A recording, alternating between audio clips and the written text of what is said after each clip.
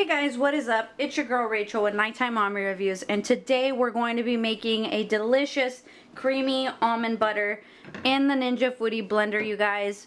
You guys, is a super easy recipe uh, to make in your Ninja Foodi blender. I cannot figure out what this machine cannot do because you guys, it does everything.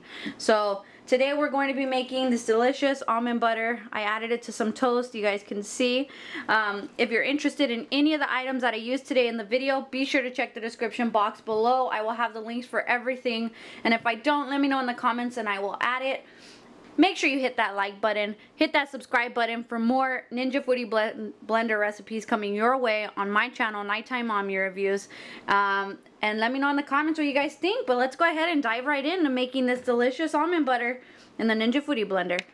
Alright, so what we're going to need are two cups of almonds and these are baked already so you're going to want to bake them at 350 degrees for 10 to 12 minutes. I did about 11 minutes and then you want to cool them to room temperature so you want to let them cool off until they're uh, until they feel like they're worn in the oven essentially. And let's see. Now I want to let you guys know one thing about this blender. It does have a safety feature that will cause the motor to turn off if you push it too hard. And if you're if you don't believe me I want to show you guys. Actually let's see if it'll allow me. This is page 12 of the manual. And basically it has a feature that's very similar to let's see uh, it's very similar to the Vitamix where in order to prevent it from burning out it will basically lock itself for 15 minutes and until it's reset after the 15 minutes and then you could turn it back on. So I don't want you guys to get scared if you happen to push the blender a little too hard. So that's why we want to bake the almonds and we bake them at 350 degrees and that will help release its own natural oils. But also we're going to use about two tablespoons of coconut oil and you can also use almond oil if you want. So let's go ahead and get started. Alright, so we're going to put two tablespoons of coconut oil, and you want to start with that first. Alright. Second. And then we're to add our almonds. Oh, there I go. Okay, this is not working out like I wanted to, so let's just start pouring them in.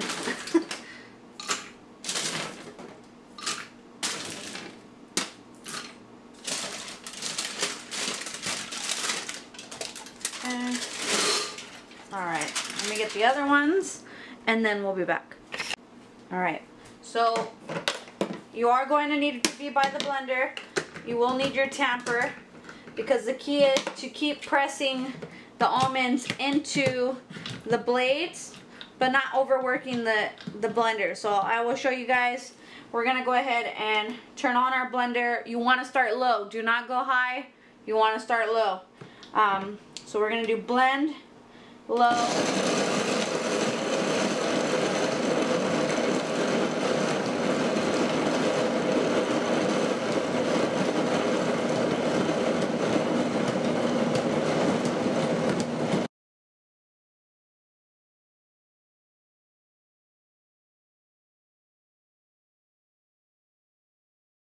Alright, so the minute's up and I'm actually going to get a paper towel so that I can place this down here. It's not yet done yet, but I want to show you guys. It's starting to be creamy, okay? So it's starting to get there, but it's stuck around the blades. So you want to push it up towards the center and get from underneath the blades because it has a tendency to go under the blades as well. And that's where the motor will start to burn up. Been down that road. And because of that safety feature, well, there's a reason I know that that statement is in the manual, you guys. okay. Go ahead and shake it off. And I'm just using a spatula to lift it um, from the from the edges. we're going to go back we're going to do another low cycle just in case. So we want to make sure that we get all the big chunks first. Alright.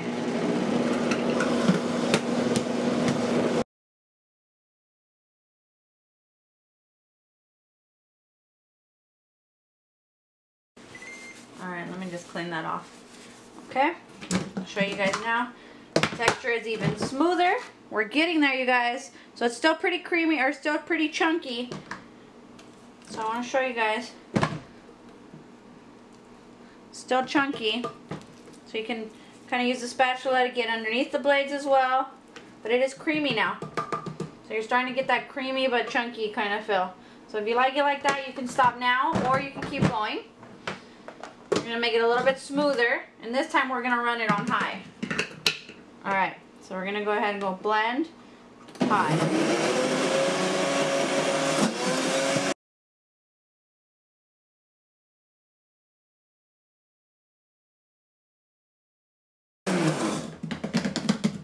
Okay.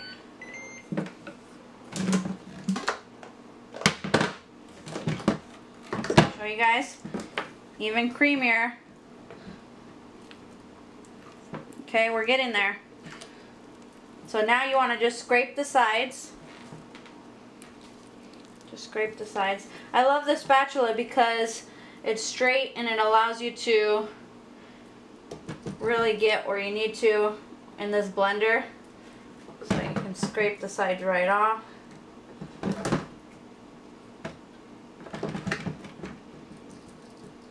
Okay.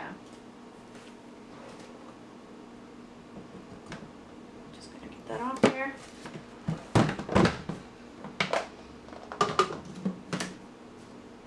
Okay. Making a mess, you guys. Alright, we're gonna go ahead and do blend. And let's go for another high cycle.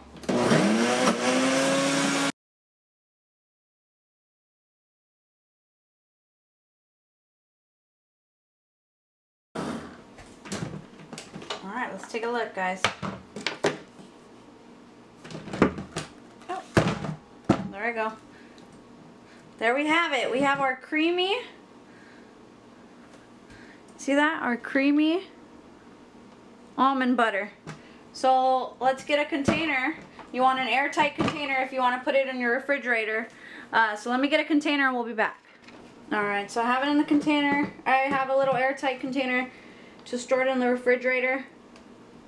I'm going to go ahead and pour it all in here. It's best to do about two cups at a time just so that the blender can really process it all and you're not overdoing it or you could blow out the motor. So I suggest two cups at a time.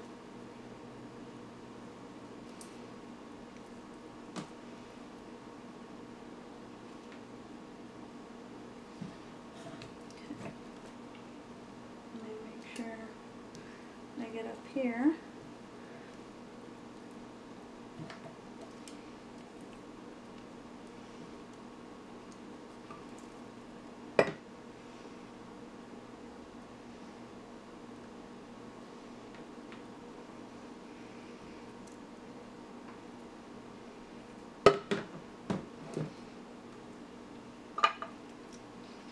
Mm.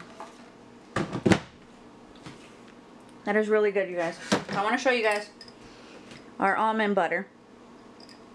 Creamy, smooth, tasty too. And this airtight container, this is the one I like to use. But all you have to do is close it and you can have it in the refrigerator for a few weeks. I don't, I doubt it'll last that long. At least it doesn't last me that long, um, just because we eat it so fast. But it can last about a couple weeks, so, or a few weeks, so it's best in the refrigerator. But that's how you would make it, you guys. Uh, let me know in the comments if you guys have any questions. Uh, if you wanted to add any flavoring to it, um, you can actually do it as the last step, but you want it to cool down. You want the almonds to cool down because the blender will get warm.